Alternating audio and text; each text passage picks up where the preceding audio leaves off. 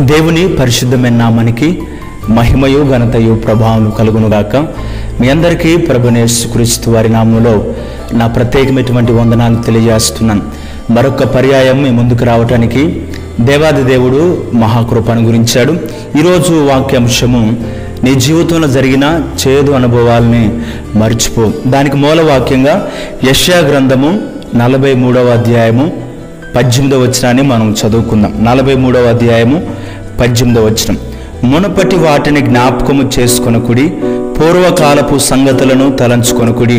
స్తోత్రం. ఈ దినపు వాక్యాన్ని బట్టి దేవాది దేవుడు మనతో మాట్లాడుతున్నటువంటి సంగతులు మనమందరం కూడా శ్రద్ధగా ఆలకిద్దాం. నిజంగానే మనము చదువుకున్నటువంటి వాక్య భాగాన్ని ఆలోచన చేయగలిగితే మునపటి వాటిని జ్ఞాపకం చేసుకోవద్దు. ఈరోజు ఎంతమంది గతంలో జరిగినటువంటి చేదు అనుభవాలు ఒకవేళ అది అన్ఎక్స్పెక్టెడ్గా జరిగిన కుటుంబంలో జరిగినటువంటి సంఘటనలే కావచ్చు వారి జీవితంలో నష్టమే కావచ్చు గొడవలే కావచ్చు భార్య భర్తల మధ్య జరిగినవి చికాకులను జ్ఞాపకం చేసుకొని మరలా మరలా వాటిని గుర్తు తెచ్చుకొని ఎంతమంది కుమిలిపోయేవారు ఉన్నారు కృంగిపోయేవారు ఉన్నారు ఆహారాన్ని మానివేసి నిద్రపోక సరిగ్గా అనారోగ్యాలు కొని తెచ్చుకునేవారు చాలామంది ఉన్నారు దేవుడు వాక్యం తెలియజేస్తుంది కదా. మునుపటి వాటిని పూర్వకాలపు జరిగినటువంటి సంగతులను జ్ఞాపకం చేసుకోవద్దు. నీ జీవితంలో ఏది నష్టపోయినా ఇతరుల ద్వారా కానీ స్నేహితుల ద్వారా బంధువుల ద్వారా నీవు నమ్మినటువంటి వ్యక్తుల ద్వారా నువ్వు ఏది నష్టపోయినా నీ జీవితంలో వారి ద్వారా నువ్వు ఒకవేళ నష్టాన్ని రుచి చూచినా కానీ వాటిని జ్ఞాపకం చేసుకోవద్దు. వెనుకున్న వాటిని మరిచి ముందున్న వాటి కొరకు నీలో శక్తి ఉంచాడు దేవుడు. నీకు బలాన్ని ఇచ్చాడు. మరలా ప్రారంభించు నీ జీవితాన్ని. మరలా పునఃప్రారంభించు నీ జీవితాన్ని. దేవుడు ఒక నూతన క్రియను నీ జీవితంలో చేస్తాడు. కాబట్టి ఈ మాటలు ఆలకిస్తున్న ప్రియ దేవుని బిడ్డారా ఈరోజు సూటిగా దేవాది దేవుడు నీతో మాట్లాడుతున్నాడు. ఈరోజు కృంగిపోయి ఉన్నావా?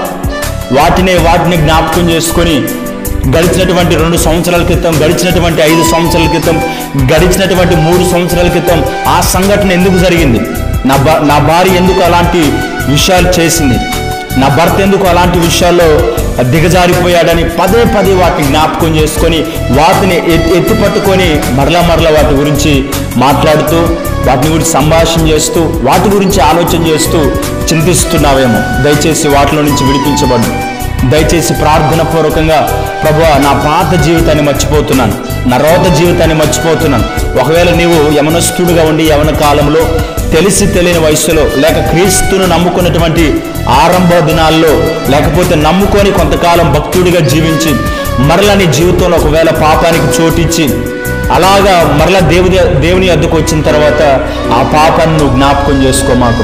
దేవుడు నీ పాపాన్ని క్షమించాడు. నీ రోత జీవితాన్ని క్షమించాడు. నీకు ఒక రక్షణ ఇచ్చాడని గుర్తుపెట్టుకో. ఆయన ఎప్పుడో నీ పాపాలను తుడిచివేశాడు.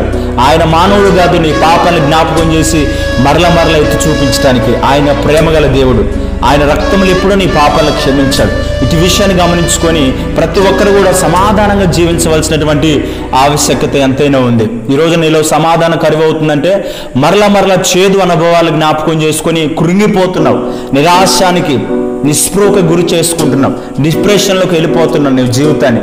కాబట్టి దేవుని సహాయం అడుగు ఈరోజు దేవుడు వాగ్దానంగా దేవాది దేవుడు రెండవ వచ్చినప్పుడు వాక్యం నుంచి మనతో మాట్లాడతాడు. ఈ ఈ యొక్క వాగ్దానంగా దీన్ని మనం అంగీకరిద్దాం. ఇదే అధ్యాయము పంతొమ్మిదవ వచనంలో ఉంది కదా. ఇదిగో నేను ఒక నూతన క్రియను చేయిస్తున్నాను ఇప్పుడు అది మొలుచును. మీరు దాన్ని ఆలోచింపరా. నేను అరణ్యములో త్రోవను కలగజేయుచున్నాను. ఎడారిలో నదులను పారజేయుచున్నాను. స్తోత్రం ఇది దేవుడిస్తున్నటువంటి వాగ్దానం. ప్రియ దేవుని బిడ్డారా నీ జీవితంలో నూతన క్రియను ఆయన మొలిపిస్తాడు. మార అనుభవాన్ని ఆయన మధురంగా మార్చగల దేవుడు. ఆయనకి లోకంలో సాధ్యమైనట్టు ఏదీ లేదు.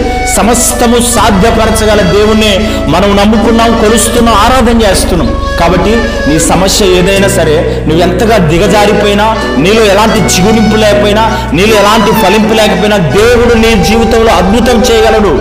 నూతన క్రియను ఆయన ప్రారంభించగల దేవుడు. కాబట్టి ఈ వాక్యాన్ని బట్టి ఈ వాగ్దాన్ని బట్టి మనమందరం కూడా బలమును పొందుకున్నాం. ఎడారిలో నదులు పారజేయగలవాడు ఆయనే. నేను అరణ్యంలో త్రోవను. ఈ మార్గాలన్నీ మూసిపోయేవేమో.